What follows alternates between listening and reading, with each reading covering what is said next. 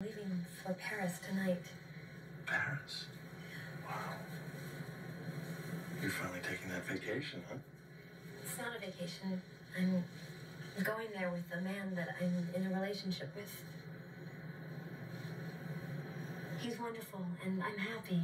So uh, please don't feel bad about anything. Goodbye. Wait, wait, wait. What do you mean goodbye? I have to go. Carrie! Carrie, stop!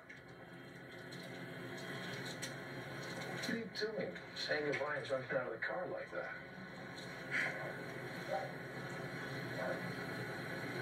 Are you moving to Paris? What were you going to tell me? What, you're not even going to tell me who he is? His name is Alexander Petrovsky. You're moving to France with a Ruski? It's a joke, Carrie. You do this every time. Every time. What do you have? Some kind of radar? Carrie might be happy it's time to sweep in and shit all over it? What? No, no, look, I came here to tell you something. I made a mistake. You and I. You and I, nothing! You cannot do this to me again. You cannot jerk me around. Carrie, listen. It is different. Oh,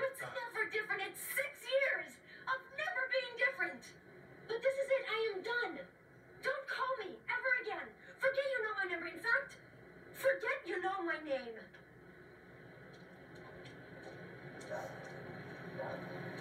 And you can drive down the street all you want. Because I don't live here anymore.